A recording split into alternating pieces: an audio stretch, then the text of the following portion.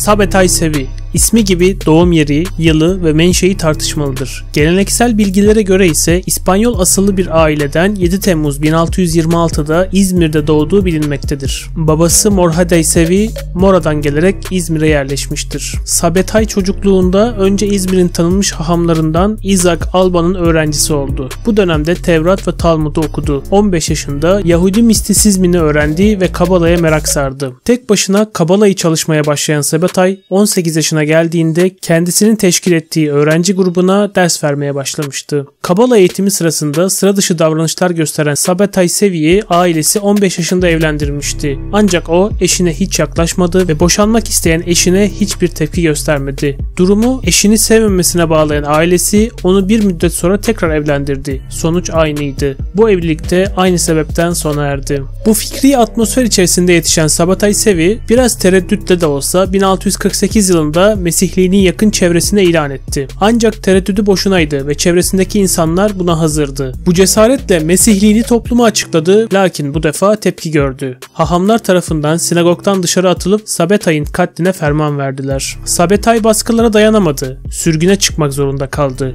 Yerine temsilciler tayin ederek 1650 yılında İstanbul'a gitti. Sabetay İstanbul'da İbrahim Yakini'nin adında bir hahamla tanıştı. Yakini Sabetay'a kendi hazırladığı bir vesikayı verdi. Bu vesikaya göre Yahudilerin beklediği Mesih Sabetay adında biri olacak. 1626 yılında doğacak ve 1666 yılında Mesihliğini ilan edecekti. O çağda Hristiyanlar arasında Mesih'in 1666 yılında zuhur edeceğine dair inanış vardı. Bu Sabetay'ın işini daha da kolaylaştırdı. Bu rivayetleri dikkate alan Sabetay, Abraham Yanchi'nin verdiği belgeyi de göz önünde tutarak Mesihlik ilanını 1666 yılına kadar tehir etti. İstanbul'da 3 sene kaldıktan sonra 1654 yılında Kabala öğretisinin kalesi sayılan Selanik'e geçti. Ancak burada da Mesihliğini açıkladı. Yahudi alimleri tarafından deli muamelesi görerek Selanik'ten çıkmaya mecbur edildi. 1658 yılında Atina'ya geçti. Atina'da takip edildiği için rahat ve huzur bulamadı. Önce İzmir'e gelse de orada da tutunamayarak tekrar İstanbul'a geçti. Çünkü burada Elia Karacon ve Abraham Yanchi gibi güvenebileceği dostları vardı. Bu dönemde hahamlarca dövülen Sabatay üzerindeki baskılar artınca 1659'da tekrar İzmir'e babasının yanına döndü ve 3 yıl İzmir'de kaldı. 1662'de Filistin'e gitmek için gemiye bindi. Yolda fikrini değiştirerek İskenderiye'ye ardından Kahire'ye gitti.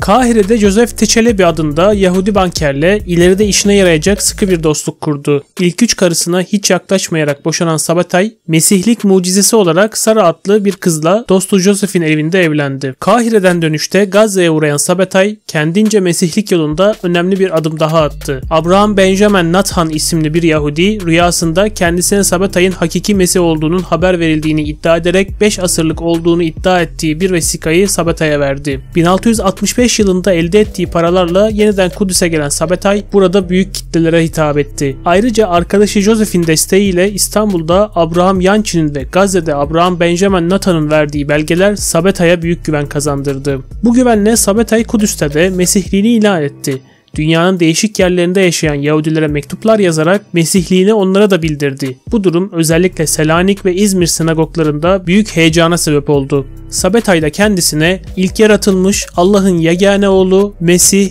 İsrail'in kurtarıcısı ünvanlarını verdi. Abraham Benjamin Nathan Sabetay ile birlikte Kudüs'e geldi. Kendisinin peygamber olduğunu duyurdu ve Sabetay'ın mesihliğini desteklemeye başladı.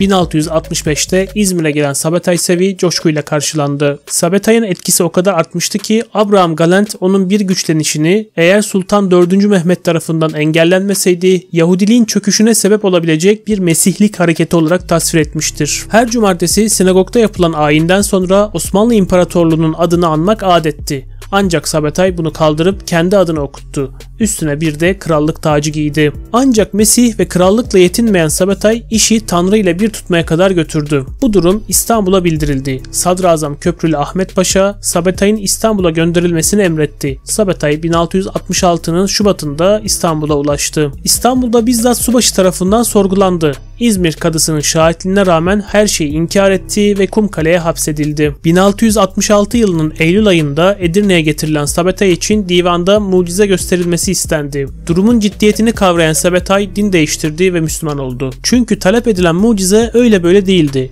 çırılçıplak soyunacak, en maharetli okçular kendisine nişan alacaktı. Eğer atılan oklar vücuduna isabet etmezse Sultan da Sabatay'ın Mesihliğini tanıyacaktı. Bu teklif karşısında Mesihlik iddialarından vazgeçen Sabatay Müslüman oldu. Bundan sonra da Aziz Mehmet Efendi olarak anılmaya başlandı. Elbette Sabetay ve taraftarları gerçekten Müslüman olmadılar. İki kimlikli bir hayat yaşamaya mecbur kaldılar. Bunlar gerçekte bir Yahudi gibi inanıyor ama görünürde Müslüman gibi yaşıyorlardı. Müslümanlar zamanla Sabetay taraftarlarını dönme olarak adlandırdılar. Kısa süre sonra da Sabetay'ın zaten Müslümanlığının sahte olduğu anlaşılınca 1668'de İstanbul'a getirildi ve buradan da Ülgün'e sürgün edildi. Nihayet Sabetay Sevi 17 Eylül 1676 tarihinde Ülgün'de hayata gözlerini kapadı.